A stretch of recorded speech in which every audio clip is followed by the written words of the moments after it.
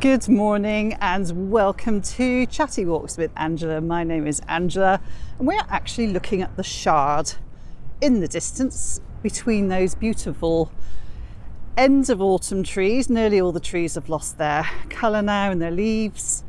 And we are in Vauxhall Pleasure Gardens, or that's, they still called it today? That's what they were certainly called a long time ago. And this walk is actually going to be walking from Vauxhall along the river to the Battersea Power Station. Now, we did have some sunshine, clouds are arriving, of course they are now. It's the very, very end of November, and we're due some quite cold weather, maybe even some snow. Let's see if that comes. I can see a squirrel on that tree. Squirrels are very active. We have a lot of parakeets in my area and the parakeets have been very, very active this morning. So you can see a train coming into Vauxhall Station and the MI6 building rising up above it. Vauxhall is on the main line in and out of Waterloo to the southwest. And I have been coming in and out of Vauxhall Station for literally decades. And it's it's just had massive redevelopment, massive redevelopment. The Nine Elms redevelopment area, got the MI6 building we just saw as part of the redevelopment. Um, what else? We have the US Embassy, which hopefully we'll catch uh, on this walk as we walk along the riverside. Very controversial redevelopment in many respects. Has it truly served the population? I think there's a good argument to say no, it hasn't makes you frustrated. Can we not do better serving redevelopment? But that's another story, and this is a walking channel. So I got all these little plant boxes. Love different, love Vauxhall. The home of Vauxhall Motors, a long time ago. Of course, we got somebody with a drill. Impossible to film without something like that going on. Right, let's move on. We're going to walk right under the railway lines. We're actually going to be heading uh, west along the river. Let's go under here. So we're going right underneath Vauxhall Station. And they've got this lovely, uh, the, so this is the Vauxhall Cross interchange mural created in 2003. Got this map here. And then I love what they have here is and the, the other one that goes under the station as well. It's got some history. Vauxhall was once Fawkes Hall, the manor house of Fawkes de Bréauté, a Gascon mercenary in the king's service in the early 13th century. A hundred years later, the Black Prince, as Duke of Cornwall, began building Kennington Palace, situated near to the current Kennington Cross. So a, they've got these lovely little things. Here they drink and there they cram chicken pastry beef. I love this uh, description of the river as well. Where does it start? The long dirty river. In the morning it's blue, when it's overcast it's brown like tea, at sunset red and orange like there's a fire, and at night black as black coffee, I'm in a cycle lane says here, you know when you're born in Lambeth, they give you a silver shovel. Got some old pictures here and everything, just lovely. And obviously got all the cycles parked here and I'm just in front of that one. And then we got some old stuff of the old gardens, Vauxhall Gardens in the 18th century. So I'll tell you a little bit about Vauxhall Pleasure Gardens because they're kind of key Surrey Ironworks, Vauxhall Ironworks. It's really sorry, this is a really fascinating mural. Vauxhall Ironworks Co. Limited. Sorry, I'm, I'm looking at this uh, mural. It's lovely. Okay, let's um, let's get back to the walk, shall we? So, as it said at the start of the mural, the Gascon mercenary Fawkes de Bréauté gains possession of, surprise, surprise, an area that was largely marshland. Don't you know it? Just about everywhere, everywhere I take you filming used to be marshland. Built a manor in 1233 through his marriage to a wealthy widow, Margaret de Redvers, and built, as it says on the mural, Fawkes Hall, later called Fox Hall. Sounds something similar to Vauxhall, Vauxhall, as we look at the MI6 building ahead of us. So we're on the interchange here. Got this quite iconic sculpture here. Just cross over. Um, just behind us, then, as I cross, so you can see we've got this uh, really busy road, and you've got the buses here, and then over there you have Vauxhall train station, which is where we've just come in. Quite a lot of sun in the sky at the moment, and all these enormous buildings that we're going to be walking through. So we're going to walk through these buildings along the riverside to Battersea Power Station. Let's see if we can get across with a green man. Yep. It's always incredibly busy here. Traffic galore. Try and keep showing you what you can see here. So as I said, buses over there, railway line, train station through there. And we're approaching the bridge now. Here we are. And here it says, don't you love that? Vauxhall Bridgefoot. I love that. Vauxhall Bridgefoot, SE1. Oh, we can cross again. Try not to get mowed down by a cyclist. Here we go. Keep going and keep going. Oh, 10 seconds. I think we can do it in 10 seconds. Right, and it's, uh, it's hard to know which direction to look. It does tell me. I don't always see them on the road. Okay, here we are, back in the centre. There we have a bus. And here we have the MI6 building. And I think we can cross again now. No, we can't. Red man, people are just taking their chances. So while we're standing here, show you the MI6 building. So, Secret Intelligence Service MI6 moved to a purpose built headquarters at Vauxhall Cross in 1993. This site had previously been proposed as a mixed use community space. We have a green man So it had been planned to have shops, homes, offices, that sort of thing. Um, but the government bought it in the early 90s.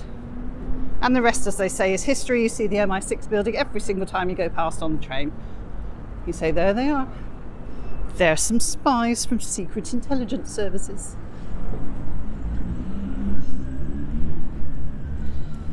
We head towards the bridge. So we are heading uh, north east direction at the moment. The other side of the bridge is Pimlico.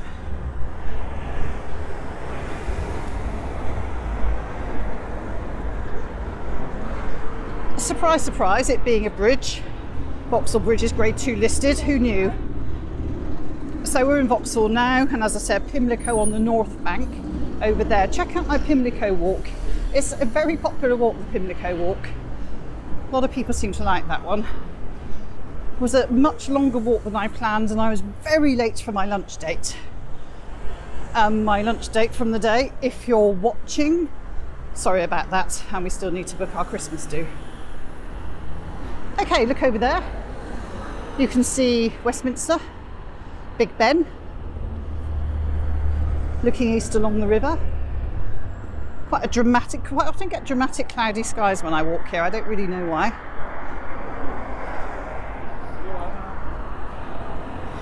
And I'll just point you backwards before we head down to the river. I'll fill you in with a few more historical details. Welcome to the channel if you're new to the channel. We are sort of history light and chatter more. So here we are, St George's Wharf, London SW8. I'll get on to that massive redevelopment. I should come over here. I won't poke you through the fence, no point. This is the Riverside Walk, and this is part of the redevelopment here of Vauxhall Riverside. As we walk away from Vauxhall Bridge, I'll give you a few interesting facts. Opened in 1906, it replaced an earlier bridge, originally known as Regent Bridge, named after George, Prince Regent. It was later renamed Vauxhall Bridge, built between 1809 and 1816. See, historical facts. As part of a scheme for redeveloping the South Bank. So, this part of the Thames has gone through so many different redevelopments. And there's one of them Battersea Power Station. You'd almost think I'd planned it, wouldn't you? There's Battersea Power Station. These things are always here, always got these things on the river. So, there's the bridge there. It was built on a spot that used to be served by a ferry, as was often the case. And Westminster and Battersea were the previous uh, sort of fixed bridges. And actually, when Vauxhall Bridge was built, they had to pay uh, monies to Battersea Bridge to reimburse from uh, for the loss of toll toll income. So yes, these bridges were all toll bridges actually from Hammersmith through to Waterloo. They were toll bridges until an Act of Parliament removed said tolls uh, in uh, 1879, I think. And actually, the naughty owners of Vauxhall Bridge did not pay the proper monies to Battersea Bridge and got sued.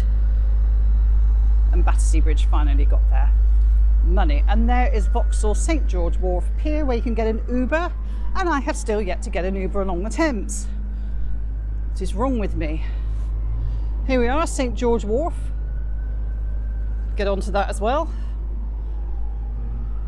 Part of the redevelopment, a big part of the redevelopment. And as I finish up about Vauxhall Bridge, oh, can you see the post office tower in the distance? Hey, post office tower. Oh, and you can see the London Eye as well. Can you just catch that? Great views from here. Vauxhall's a great spot to just start a walk, basically. You've got Westminster and everything in one direction to the east, and you've got Battersea Power Station, Chelsea, etc. to the west. So it's, it's, not a bad area to start a walk. It's only one stop out of Waterloo as well. Um, yes, where was I? Oh, so yes, the, uh, the old Vauxhall Bridge uh, was the first in London to carry trams initially horse drawn trams, but shortly after it opened, converted to carry electric trams. And they ran until 1951. And in 1968, Vauxhall Bridge and Park Lane became the first roads in London to have bus lanes.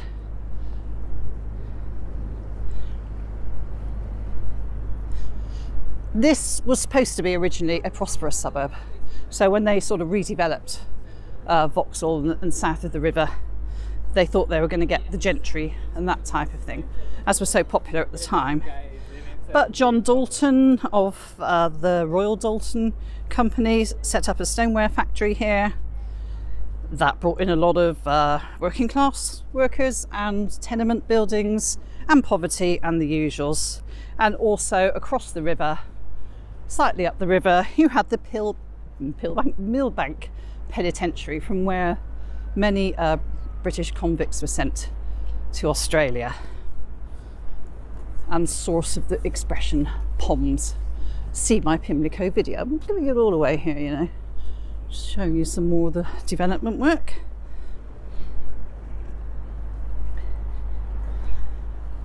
And I suppose one final point about Vauxhall Bridge, they had planned to replace it in the 1960s with a modern development containing seven floors.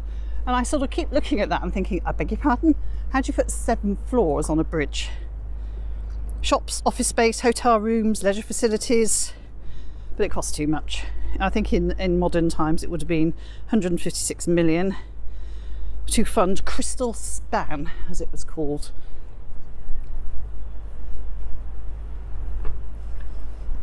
Keep showing you along the river. So it's quite cold. I'm here with Luke. Say hello. Hello. Hello. I'm Luke, technical support. Technical support. Very necessary technical support. I think it's fair to say it's cold today, isn't it? It is freezing. Yeah, yeah. it's freezing. It's about seven degrees, I think. But I wore some thin trousers today and I did not think about it. yeah, I don't think we thought it through, did we? now, I'm going to point upwards And then I'm going to give you a description that I hope doesn't offend you. Um, yeah. So I think this is what's known as St George Wharf Tower. We up we go, and up we go, and up we go some more.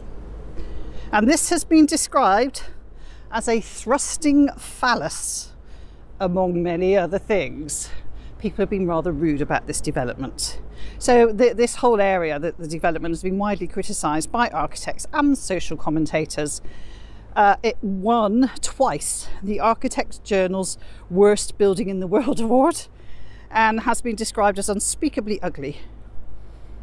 Sociologically and politically, accusations of land grabbing and the perpetuation of social inequality have dogged this whole development. And it's been an interesting thing from my point of view. Um, I think I've been coming through Vauxhall, I'm, I don't like to say, probably three decades now. And it's incredible the redevelopment. Uh, from the train, you're just kind of struck by all these buildings right next to each other. You think, are you like staring into each other's windows 20 floors up or something like that? And how much did you pay for the privilege of being right next to another block of flats pointing upwards? I think they cost an awful lot of money. So I'm just going to point you eastwards one more time. There you are, you can see the London Eye again.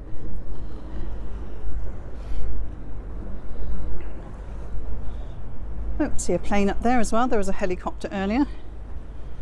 So, as I said, this was sort of intended to be a more gentrified area, sort of in the 18th, 19th century, but became much more working class. You had the power station, uh, Vauxhall Motors, uh, the Royal Doulton Works, um, so commercial units, railway junctions, and it became very, very rundown. And that's how I remember it. I remember Battersea Power Station in its rundown decades, um, and this area too.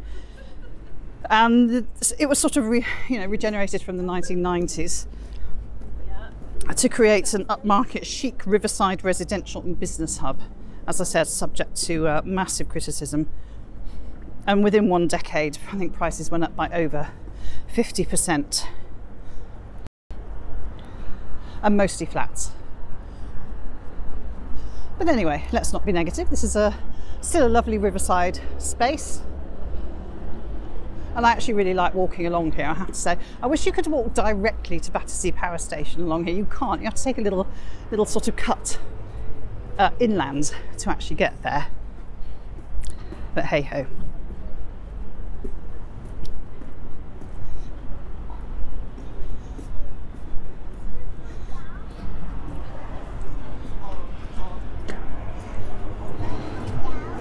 If you want to go back to history a bit, you may just want to enjoy a walk in silence along the river, and here I am chatting away. So, going back to Fawkes de Bréauté, who built his manor on the marshland here, he actually lost his lands after rising up against Henry VIII. Well, that didn't go very well, did it? So, he lost his lands. But here's a fascinating point the Vauxhall Motors Griffin so if you've got a, if you've seen a Vauxhall car, you know what the Griffin looks like. On it is the family coat of arms of Fawkes de Bréauté. So the original founder of Vauxhall, that Griffin, their family coat of arms, is what you see on a Vauxhall car today. Isn't that interesting? Showing you a bit of beach, as I always do. Look towards the city of London there. So that's a fascinating point for you. Now, why did I start at the at the Pleasure Gardens? Because I didn't really get onto that, did I? So Jane Vaux, as in V A U X, possibly a descendant of Fawkes de Bréauté, owned a house here in 1615 with 11 acres of grounds called the Spring Gardens, which were opened as a pleasure park in 1660. And Samuel Pepys, he pops up all over the place as well, doesn't he? Samuel Pepys recorded later in that decade that he went by water to Fox Hall. So 17th century, it was already called Foxhall, and walked in the spring gardens. Now, there is another fascinating point coming up. So by the early 1800s, the gardens provided refreshments, concerts, fireworks, displays of pictures, statues, lit by over 1,000 lamps at night. So it's quite the place to come and be. And it became really prestigious, did Vauxhall Gardens, which is what they were called by 1785. And similar parks, so, so Vauxhall Gardens were actually so influential that similar parks were laid out in several cities. The Tivoli Gardens in Copenhagen, if you've been there, I have, love Copenhagen. In Russia, the Grand Station Pavilion, where concerts were performed at the Pavlovsk Pleasure Gardens, was named Vauxhall. And I know because I've been there, because I used to speak Russian, because that was my degree and my PhD.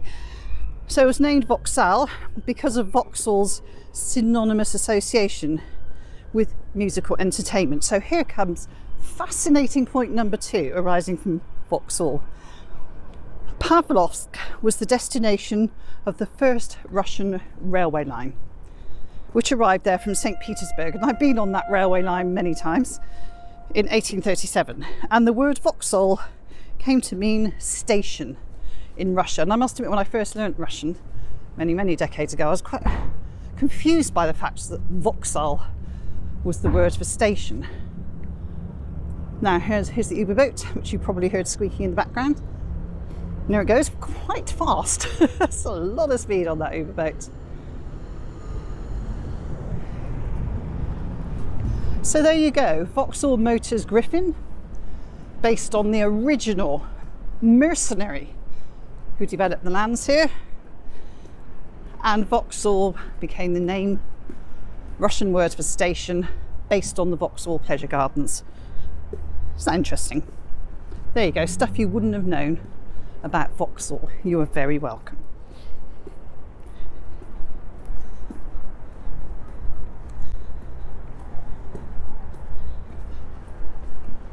So there's your brief history as we wander along here. You can see it's quite easy to see you've got various um, sort of decades represented in the building development here. So 80s, 90s, and then, you know, once we got into the noughties and the massive regeneration efforts. And as I said, if you go down there, that will get you over to Chelsea. Though I think, I'm sorry, I'm probably showing you Battersea Bridge at this moment in time. You can see the train going across as well. Ah, we have another beach.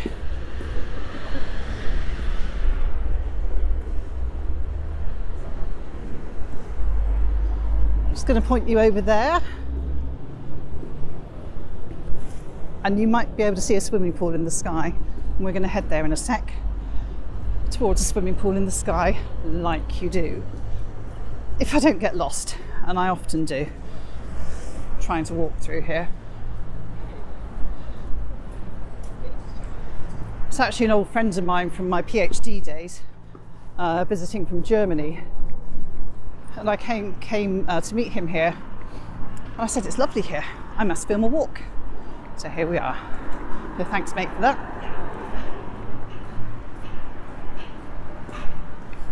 Right, let's see if we can cross over.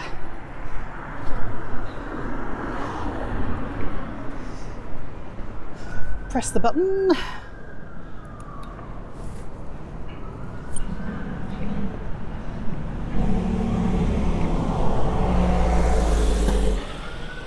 And do I see a fire engine coming? I guess I better give it right away and all.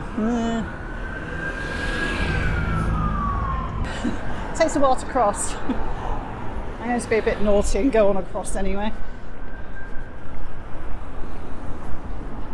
I don't know if you can see what I'm pointing you at. Over there it says Embassy of the United States of America.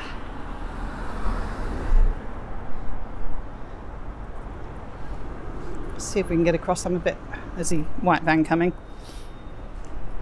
So I might as well start talking about it. I've been pointing you at it for long enough. Right, let's cross. Here we go. Now, I don't know if I'm allowed to point a camera around here, so um, I'll go a little bit careful. So, this is the US Embassy in London, the diplomatic mission of the United States in the United Kingdom. the largest American embassy in Western Europe and the focal point for events relating to the United States that are held in the United Kingdom. And as you come into Vauxhall Station, you can just see it peeking through the buildings. So it was a competition to design it.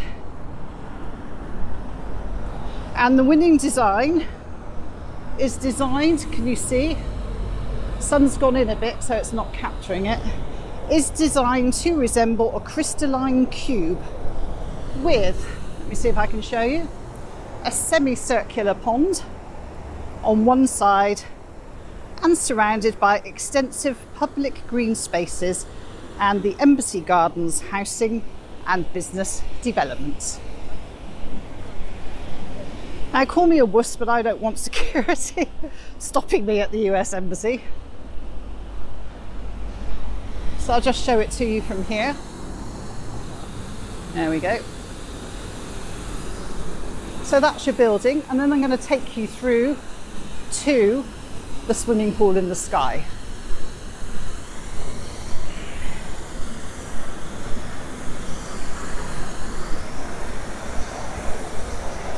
Now, if you saw my Halloween video, which crashed and burned a little bit actually, uh, because the signal went bad, but you may remember if you saw the Halloween video that I filmed the old US Embassy at um, Grosvenor Square. And that's now a building site being redeveloped, rebuilt as something else. This one has been here since 2017. Formally opened in 2018. And obviously benefits from views of the River Thames. These are public gardens. I'm going to point my camera that way a bit. As I said, just want, you know, not to upset anybody too much around here.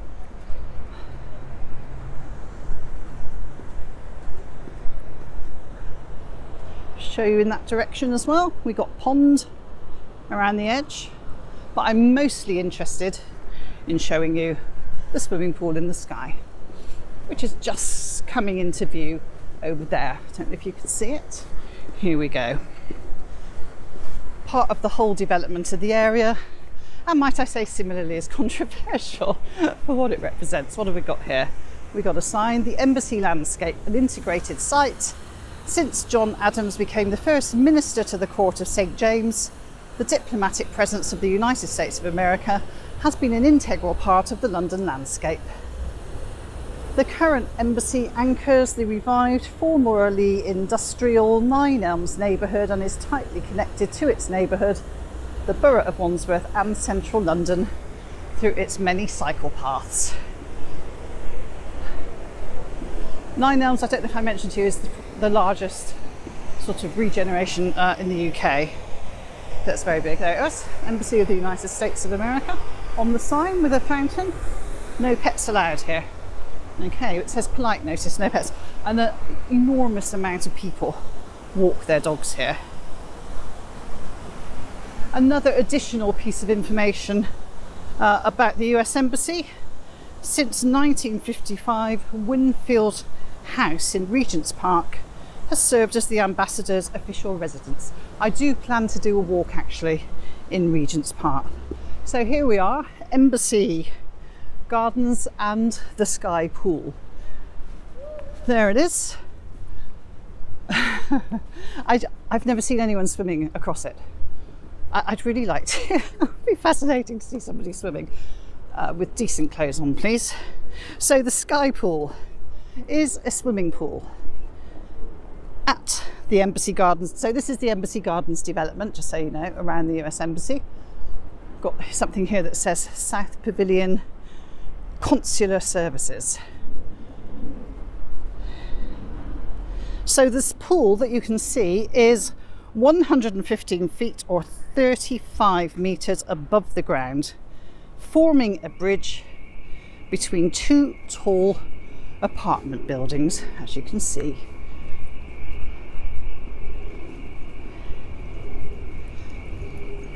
Um, Unveiled in May 2021 This has been criticised. no, no kidding. it has been criticised as emblematic of economic inequalities in London. It has been described as a pool securing an ultra elite experience at the cost of casually insulting a city in the grips of an affordable housing crisis, or alternatively, as a jewel, a jewel in plain sight of all but out of reach to almost everyone. So, as I said, controversial. It's fascinating. I mean, I don't know if I'd be scared to swim in it. I'm quite, is that is that too wussy to be scared to swim in it? I don't know. And here we are, Embassy Gardens. Can't see any fish. As I said, you see an enormous amount of people walking dogs around here. Very popular dog walking area. If I was an official vis- visitor, apparently I'd have to go to the East Pavilion. I'm not an official visitor. Don't think they're that interested in me. So to access the pool on the sky deck, you have to be a member of the club. There's a special club for residents at Embassy Gardens. I think it's called the EG Club or something. Has a spa, orangery, and bar. In 2017, when all this was going up, 25 apartments were released for sale by Eco World Ballymore. You might have seen their offices behind us, with prices for the homes that overlook a sky pool starting at 1 million. The pool being the world's first floating swimming pool. So that's what you get for a million quid. You get an orangery and a bar and a spa and the ability to swim across. If you're allowed to swim across nude, that would be weird. And that's that really. Here we are in the beautiful Embassy Gardens area of London. And as you can see, I'm going to trip over here. I'm actually falling over some stones on the ground at the moment. So you see we're still building here, very much so. Halfway building, complete building, a bit like living on a building site around here, I very much suspect. Right, we'll head back to the river now. Can't say I didn't get a little bit anxious at the guys with guns. Did you get anxious at the guys with guns? Yeah, a little bit. not used to seeing it here No, I know. Hi, nothing to see here. Nice Yeah. person. They sounded friendly enough. They did. I. Didn't want, didn't want the guns, did we? I'm not used to seeing that. Here I know. I know. Not sure what's the guns. So let's just turn you. So we got. I see some uh, paints there, paint work there, and this uh, crystalline structure. And you can see we've got a sign here, Battersea Park, which you could walk through. You can walk through Battersea Park around um, Battersea Power Station. Uh, ch- check out that video as well. It's not bad. I'm hoping we can walk through here. This this bit of the walk I get a bit blind. Um, so very much hope that we're going in the right direction. I see a lot of lorries though. If it gets boring, I'll, I'll cut forward to, to another part of the walk.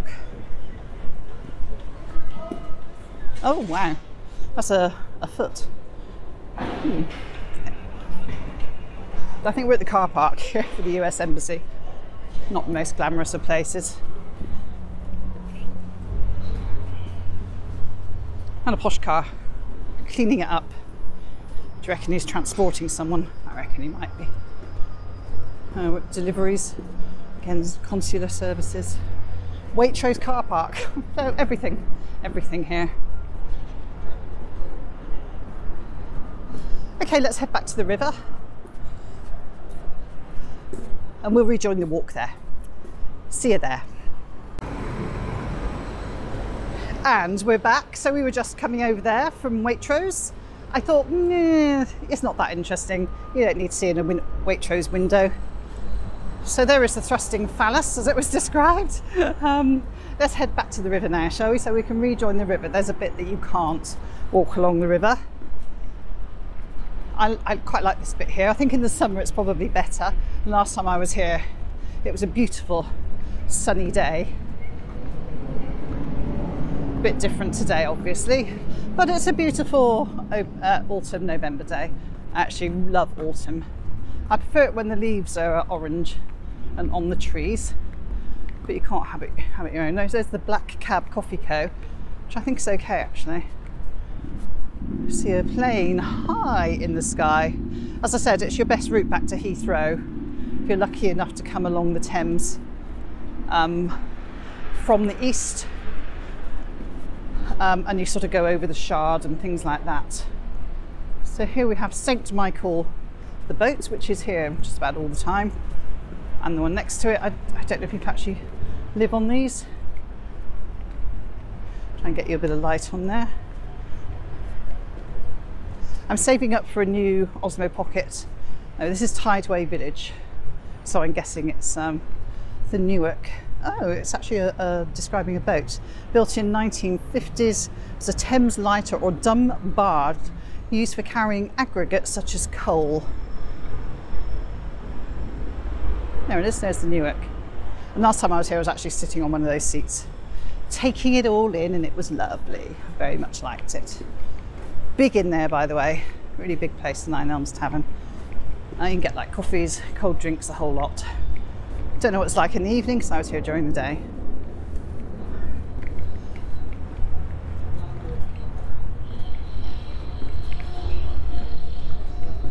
as we head back along the river now towards Battersea, it does frustrate me that we can't actually walk directly to Battersea along here. We have to cut back in again, um, and it's not the most direct route.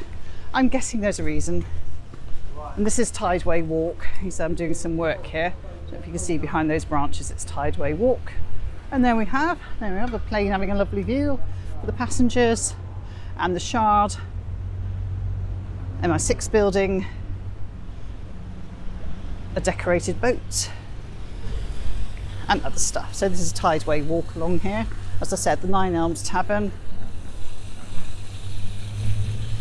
Got these fountains. Becoming one of those describing what I can see walks. And you can see the uh, chimneys of Battersea straight ahead. And we're going to now have to turn back up and cross the road as I said, a bit of a shame we can't like head straight through to Battersea.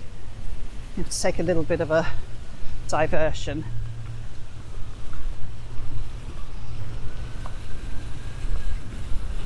And we've got sort of container, a bit like over at Trinity Buoy Wharf. See, we've got containers here. Guessing they're being used for space of some description. Wright's formula. I saw this like the F1 car Discover More I don't know what I'm looking at. I Don't know what that is. Okay, so this is Nine Elms Pier. I said, definitely use of old containers here. Private property, no admittance. And we are now going, oh look at that barge. Wow, look at that. Load of containers on there. We're going to go this way past this very attractive grey wall. And I actually can't remember the way to go here. I think I go along here. Another plane, or is it the same plane that I showed you just now? You see the clouds are really coming up now. So it being the end of November, is it cold enough for snow? Is it cold enough for snow? It's seven degrees, so no. Um, you have to fiddle around with your dew points, evaporation rates, all those types of things. Don't think we're quite there yet. But who knows, maybe somewhere north and east of London, maybe they'll pick up some snow by the end of the week. It's quite early. I know us Brits are aware that we're not a particularly snowy country, but overseas sometimes I think they're some of the um, images from films and things as if we get snow, and it's like, no, we don't, especially the London area. We're walking through a development here, as you can see. And you can see my slight issue are people looking into each other's windows and paying a lot of money for the privilege. I don't mean to be down on the area, by the way. Actually, I, I very much like the redevelopment, but I don't know. Perhaps I could have been a bit more careful with it. Is all I'm saying. Nothing more. I'm actually going to, um, at the end of this walk, going to film the Christmas lights in Battersea Power Station, but I'll do that as a separate walk and I'll, I'll just have a nose. I don't know if they've got a Christmas market or anything like that. um, I'm going to go and explore basically. Okay, I'm going to cross in a sec. So we just sort of briefly diverted back along the river here to show you some more river views. You see, last time I was here, I went over there thinking you could walk to the power station. You cannot get to the power station through there, you have to take a diversion, and that's what we're going to do now. Just see if I can find my way. I'll catch up with you again in a sec. We'd say we just diverted up through here, and I'll um, catch up with you once we're on the proper road to Battersea Power Station. See you in a sec. Okay, here we are at New Covent Garden Market. You can see this from the train, and it is not to be confused with Covent Garden. Uh, it is the proper sort of, you know, fruit, vegetable, flowers, those types of things. I don't know what early hour of the day it starts, but I know it's very early, and it's pretty huge actually. So it looks like the entry area there. Literally right next to Battersea Power Station as well. Now we're going to come through here to Battersea Power Station. Whoop whoop. Here we are. And I was looking at a sign and it actually says this is a temporary diversion from the Thames Path. So I'm hoping that, um, that they'll sort of smooth it out as time goes on.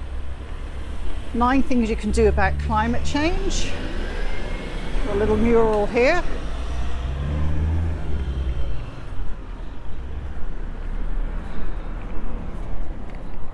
as we approach the main entrance, and you can kind of pick it up, there's, there's people here now, pedestrians, with one goal, heading towards Battersea. There it is, the four iconic chimney stacks. It's nice. See a tree over there as well. Oh, just interested to see if they've got a Christmas market here. So we could actually have sort of battled our way through uh, the sort of building site there as well. But I wanted to show you the um, Covent Garden, new Covent Garden Market. So I think that's quite quite an iconic point here as well. So I'm just going to turn and point you in that direction. There it is, new Covent Garden Market over there. And we have basically walked from Vauxhall Pleasure Gardens over to here.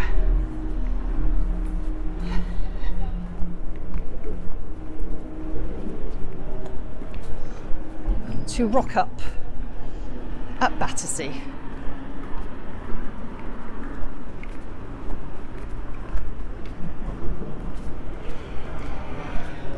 It's been hugely popular, um, Battersea Power Station, since it was redeveloped. I don't know how well it's doing. You get quite a mix of the shops opening and closing. There seems to be quite a lot of temporary uh, shops that sort of pop up for a while and then close again. You come back and there's a different shop there next time, all those sorts of things. And they have sort of gone more high end. So it's whether that's sustainable as well. We've got the hotel as well. Chris and Sandra in Canada. Chris and Sandra, did you stay at the hotel here? Got a feeling you did. Was it good? And you got these sort of quite uh, posh, swanky flats with like pools and things like that going on the top. Over here, I can see two Frenchies doing what French bulldogs do, which is sniff a lot. and have a wee while I'm filming. Hello, sweetheart. They're looking very French bulldog like, saying, Love, this is what it's going to be like. This is what we're doing. So you see, we've got some Christmas decks, Christmas lights, and things. Don't know what it's like where you are, so we're sort of final week of November here. And in our local sort of streets and things, this week, literally this week, people are putting up their Santas, their lights, their snowmen.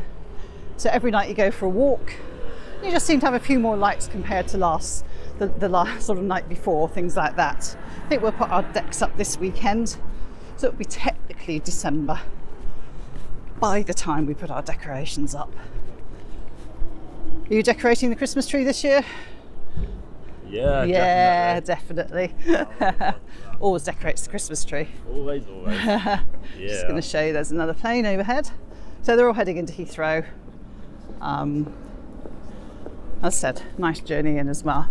Right, let's walk around the side of here and then I'll sort of close off this walk. And I do hope you've enjoyed seeing a slightly different route to Battersea Power Station.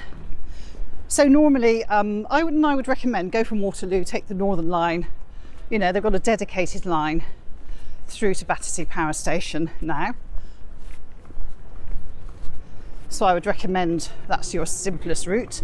But if you want to go for a bit of a walk, sort of soak in, you know, the energy and somewhere slightly different, then do the Vauxhall walk along. I think it's quite nice. By the way, this is a big glamorous front entrance. I'm taking I'm taking you in a side entrance to Battersea Power Station. So come on in here and I'll just show you. See, we're in. Wasn't a dodgy place I was taking you at all. Just like that. We're in lovely Christmas lights at Battersea Power Station. And there you go. Christmas Lovely. lights are my favourite lights. Yeah. Love Christmas lights. yeah. There we go. Just move you over here so you can see that lovely sign they've got up as well. While I get my bearings, actually, it's like, which end are we? Which end? I think I know where we are. Yes, I do. Now I know where we are. We're at the old control room B, which is done sort of Art Deco style. Like that. Right, I will sign off from this walk now, pointing you along Battersea Power Station. As I said, I'm just going to do a quick wander around, do a separate walk with some lights in it. I do hope you've enjoyed this walk from Vauxhall to Battersea. There will be more uh, Christmassy uh, stuff coming as well. I will see you next time. Bye bye.